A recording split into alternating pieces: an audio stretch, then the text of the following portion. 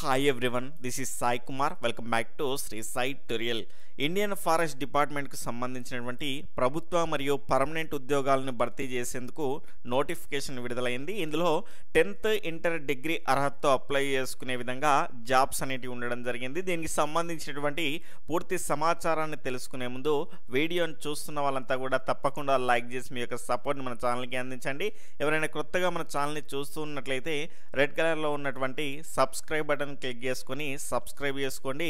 పక్కనటువంటి all notification bell ఐకాన్ని click చేయడం ద్వారా నేను చేసేటువంటి ప్రతి వీడియో కూడా మీకు నోటిఫికేషన్ రూపంలోకి వస్తుంది. ఇక్కడ ట్రోపికల్ ఫారెస్ట్ రీసెర్చ్ ఇన్స్టిట్యూట్కి సంబంధించినటువంటి ఇండియన్ ఫారెస్ట్ డిపార్ట్మెంట్కి సంబంధించినటువంటి నోటిఫికేషనే ఇది. ఇందులో మనకు ఆరు రకాల ఉద్యోగాలకు సంబంధించినటువంటి క్లియర్ ఇన్ఫర్మేషన్ మనం ఇప్పుడు తెలుసుకుందాం. ముందుగా ఎంటీఎస్ మల్టీ టాస్కింగ్ స్టాఫ్కు సంబంధించినటువంటి పోస్టులు వచ్చేసి తొమ్మిది ఉన్నాయి. దీనికి సంబంధించినటువంటి ఎడ్యుకేషనల్ క్వాలిఫికేషన్స్ కనుక చూసుకుంటే ఇక్కడ tenth standard pass certificate. Tenth class pass అయినటువంటి అభ్యర్థులు మీ దగ్గర సర్టిఫికెట్ ఉన్నటువంటి అభ్యర్థులందరూ కూడా దీనికి అప్లై చేసుకోవడానికి అవకాశం అనేది కల్పించారు. దాని తర్వాత వచ్చేసి ఇక్కడ ఫారెస్ట్ గార్డ్ అండి. ఈ forest గార్డ్కి twelfth pass with science from the government recognized board. ఈ జాబ్ వచ్చిన తర్వాత ఇక్కడ the appointee will be required to successfully complete the forest training course from the recognized forest guard training institution during the probation period. ఇక్కడ చూడండి twelfth class అర్హతతో intermediate అర్హతతో మీరు ఈ పోస్టులకు అప్లై చేసుకోవచ్చు. ఒకవేళ మీరు అపాయింట్ అయిన తర్వాత ఒకవేళ అపాయింట్ అయితే కనుక ఖచ్చితంగా మనకు ఒక ట్రైనింగ్ ప్రోగ్రామ్ అనేది ఉంటుంది ఫారెస్ట్ గార్డ్కి సంబంధించింది. ఆ సంబంధిత ఇన్స్టిట్యూట్ నుంచి మీరు దానికి సంబంధించినటువంటి కోర్సుని ఫినిష్ చేయాల్సి ఉంటుంది. తర్వాత మనకి ఇక్కడ టెక్నీషియన్ దాని తర్వాత ఎలక్ట్రీషియన్ తర్వాత ప్లంబర్ తర్వాత కార్పెంటర్ ఈ రకమైనటువంటి పోస్టులు అనేవి ఉన్నాయి. వాటికి సంబంధించినటువంటి వాటిలో ఐటీఐ సర్టిఫికెట్ అనేది ఉండాలి. ఉన్నటువంటి వాళ్ళు మీరు అప్లై చేసుకోవడానికి అవకాశం అనేది ఉంటుంది.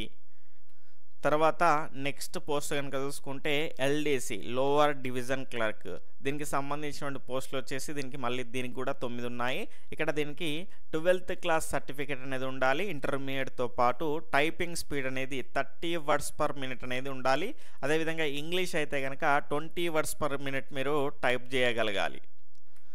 తర్వాత స్టెనోగ్రాఫర్కి సంబంధించిన క్వాలిఫికేషన్ ఇంటర్మీడియట్తో పాటు ఆ స్టెనోగ్రాఫర్కి సంబంధించినటువంటి స్కిల్స్ అనేటివి మీకుంటే మీరు ఈ స్టెనోగ్రాఫర్ పోస్ట్కు అప్లై చేసుకోవడానికి అవకాశం అనేది ఉంటుంది.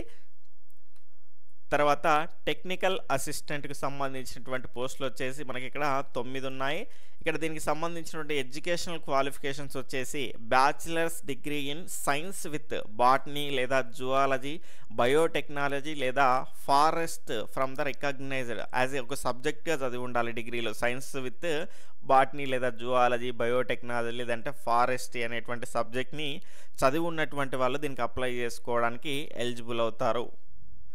దీనికి సంబంధించినటువంటి ముఖ్యమైనటువంటి తేదీలు కనుక చూసుకుంటే ఇక్కడ seventh February two thousand twenty two నుంచి అప్లికేషన్ ప్రాసెస్ అనేది స్టార్ట్ అయింది. మీరు ఆన్లైన్లోనే అప్లై చేసుకోవాల్సి ఉంటుంది. దీనికి సంబంధించినటువంటి క్లోజింగ్ డేట్ లాస్ట్ డేట్ కనుక చూసుకుంటే fifth March two thousand twenty two midnight వరకు మీరు అప్లై చేసుకోవడానికి అవకాశం అనేది కల్పించారు. వివిధ పోస్టుల వారీగా ఏజ్ లిమిట్ మనం ఇప్పుడు చూద్దాం. ఏజ్ లిమిట్కి సంబంధించినటువంటి కట్ ఆఫ్ డేట్ వచ్చేసి fifth March two thousand twenty టూగా డిసైడ్ చేయడం జరిగింది.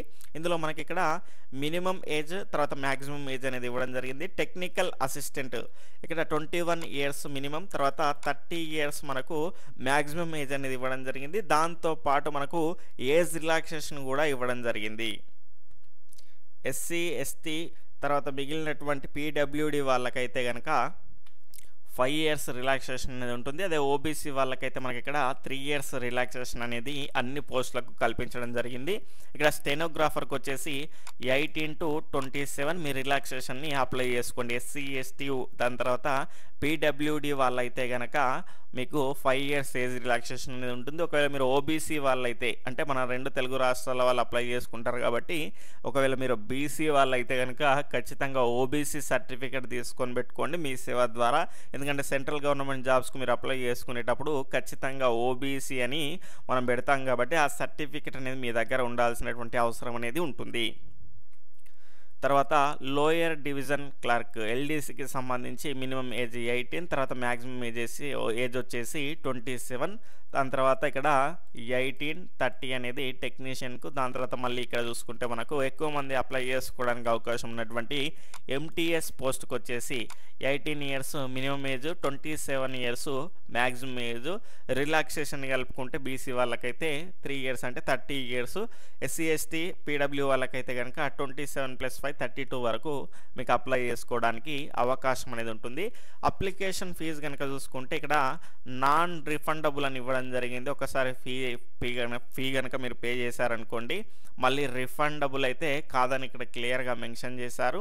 ఇక్కడ అప్లికేషన్ ఫీ వచ్చేసి ఫైవ్ హండ్రెడ్ రూపీస్ తర్వాత ప్రాసెసింగ్ ఫీ వచ్చేసి ఎయిట్ హండ్రెడ్ రూపీస్. టోటల్గా మనకి ఇక్కడ థర్టీన్ హండ్రెడ్ రూపీస్ అనేది ఫీ అనేది ఉంటుంది. దాని తర్వాత ఇక్కడ చూడండి జనరల్ తర్వాత EWS OBC categories through online mode only అంటే ఈ థర్టీన్ హండ్రెడ్ ఎవరైతే కడతారంటే మనకు జనరల్ కానీ అదేవిధంగా ఈడబ్ల్యూఎస్ తర్వాత ఓబీసీ కేటగిరీకి చెందినటువంటి వాళ్ళు ఈ థర్టీన్ హండ్రెడ్ రూపీస్ కట్టాల్సి ఉంటుంది. ఎవరైతే ఎస్సీ ఎస్టీ ఉమెన్ దివ్యాంగ్కు సంబంధించినటువంటి వాళ్ళు ఉంటారో కేవలం వాళ్ళు ఎయిట్ హండ్రెడ్ రూపీస్ అదేంటి అంటే ప్రాసెసింగ్ ఫీజు కడితే అయిపోతుంది. అంటే మనకి ఇక్కడ జనరల్ ఈడబ్ల్యూఎస్ ఓబీసీ వాళ్ళు ఇక్కడ క్లియర్గా మెన్షన్ చేశారు చూడండి. Unreserved EWS other backward classes వాళ్ళకు మొత్తంగా మనకు థర్టీన్ హండ్రెడ్ పే చేయాలి. Schedule caste schedule tribe divyang women ex service men వాళ్ళకైతే ఎయిట్ హండ్రెడ్ రూపీస్ పే చేస్తే సరిపోతుంది.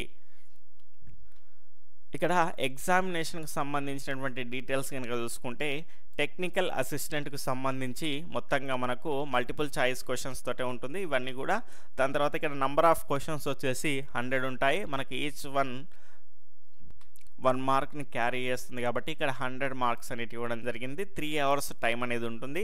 అదేవిధంగా స్టెనోగ్రాఫర్ కూడా హండ్రెడ్ మార్క్స్ అదేవిధంగా హండ్రెడ్ క్వశ్చన్స్ అనేవి ఉంటాయి. దీనికి టూ అవర్స్ టైం లిమిట్ అనేది ఉంటుంది.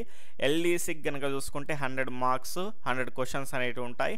దీనికి కూడా టూ టూ అవర్స్ టైం అనేది ఉంటుంది. దాని తర్వాత టెక్నీషియన్ కూడా వంద క్వశ్చన్లు వంద మార్కులు అనేవి ఉంటాయి. దీనికి త్రీ అవర్స్ టైం అనేది ఉంటుంది. దాని తర్వాత ఫారెస్ట్ గార్డ్కి సంబంధించి వంద క్వశ్చన్లు వంద మార్కులు అనేవి ఉంటాయి. దీనికి టూ అవర్స్ ఉంటుంది. దాని తర్వాత ఎంటీఎస్ మల్టీ టాస్కింగ్కి సంబంధించినటువంటి క్వశ్చన్స్ వచ్చేసి వంద తర్వాత వంద మార్కులు అనేవి ఉంటాయి. ఇందులో మొత్తంగా మనకు టూ అవర్స్ టైం అనేది ఉంటుంది. ఇక్కడ క్లియర్గా మెన్షన్ చేశారు. Each question will carry one mark. ఇక్కడ మనకు నెగిటివ్ మార్కింగ్ కూడా ఉంటుందని one by third mark will be deducted for the each wrong answer in written examination. అదేవిధంగా మినిమం క్వాలిఫైయింగ్ మార్క్స్ కూడా ఇవ్వడం జరిగింది. జనరల్ అన్రిజర్వ్డ్ మరియు ఈడబ్ల్యూఎస్ వాళ్ళకైతే ఫిఫ్టీ పర్సెంట్ మార్క్స్ వస్తేనే మీరు క్వాలిఫై అవుతారు. అదేవిధంగా ఓబీసీ వాళ్ళైతే కనుక ఫార్టీ ఫైవ్ పర్సెంట్ వచ్చినటువంటి వాళ్ళు క్వాలిఫై అవుతారు. అదేవిధంగా SC ST divyang ex service man వాళ్ళైతే ఫార్టీ పర్సెంట్ వస్తే సరిపోతుంది. దీనికి ఇక్కడ చూడండి. Only Indian citizens are eligible to apply. ఇక్కడ రెండు తెలుగు రాష్ట్రాల వాళ్ళు కూడా మీరు అప్లై చేసుకోవడానికి అవకాశం అనేది కల్పించడం జరిగింది. ఎందుకంటే సెంట్రల్కి సంబంధించినటువంటి జాబ్ నోటిఫి నోటిఫికేషన్ కాబట్టి. ఇక్కడ చూడండి ప్లేస్ ఆఫ్ పోస్టింగ్ వచ్చేసి మనకి ఇక్కడ ముందైతే జబల్పూర్లో ఉంటుంది. దాని తర్వాత మీరు ఇండియాలో ఎక్కడికైనా కూడా అంటే టీఎస్ టీసీఎఫ్ఆర్ఈ ఉన్నటువంటి ప్లేసుల్లోకి మీరు ట్రాన్స్ఫర్ అవ్వడానికి అవకాశం అనేది ఉంటుంది అని ఇక్కడ క్లియర్గా మనకు చెప్పడం జరిగింది. ఇక్కడ ఈ రిటర్న్ ఎగ్జామినేషన్లో క్వాలిఫై అయితే మనకి ఇక్కడ స్కిల్ ప్రొఫిషియన్సీ టెస్ట్ అనేది కండక్ట్ చేస్తారు. ఇక్కడ వన్ ఇస్ టు ఫైవ్ రేసియోలో మన మనల్ని సెలెక్ట్ చేసేసి దానికి సంబంధించినటువంటి స్కిల్ టెస్ట్ అనేది కండక్ట్ చేస్తారు. ఆ స్కిల్ టెస్ట్ అనేది దేనికి ఉంటుందో ఇక్కడ క్లియర్గా మెన్షన్ చేశారు. స్టెనోగ్రాఫర్ గ్రేడ్ టూకు తర్వాత లోవర్ డివిజన్ క్లర్క్ తర్వాత ఫారెస్ట్ గార్డ్ అండ్ టెక్నీషియన్కు మిగిలినటువంటి వాటికి స్కిల్ టెస్ట్ అనేది ఉంటుంది. స్కిల్ టెస్ట్ లేదా physical test on the basis of merit of written examination. అంటే ఫారెస్ట్ గార్డ్కు సంబంధించి ఫిజికల్ టెస్ట్ అనేది ఉంటుంది కావచ్చు. అదేవిధంగా మనకి ఇక్కడ లోయర్ తర్వాత లోయర్ డివిజన్ క్లర్క్ తర్వాత స్టెనోగ్రాఫర్ గ్రేడ్ టూకు మనకి ఇక్కడ వచ్చేసి స్కిల్ టెస్ట్ అనేది టైపింగ్ స్పీడ్కి సంబంధించినటువంటి స్కిల్ టెస్ట్ అనేది కండక్ట్ చేస్తారు. ఈ రకంగా దీనికి సంబంధించినటువంటి పూర్తి సమాచారాన్ని ఈ వీడియోలో మనం తెలుసుకున్నాం. ఈ వీడియో కనుక మీకు ఉపయోగపడింది అనిపిస్తే కనుక తప్పకుండా అవకాశం ఉన్నటువంటి వాళ్ళు అప్లై చేసుకునేటువంటి ప్రయత్నం చేయండి. ఎందుకంటే ఇలాంటి నోటిఫికేషన్కు సంబంధించినటువంటి డీటెయిల్స్ అనేవి చాలా తక్కువ మందికి తెలుస్తాయి. కాబట్టి తొమ్మిది పోస్టులు రెండు పోస్టులు మూడు పోస్టులు ఉన్నాయి కదా అని మీరు అప్లై చేయకుండా ఉండకండి. అవకాశం ఉన్నటువంటి వాళ్ళు అప్లై చేసుకోండి. Okay friends bye take care జై హింద్.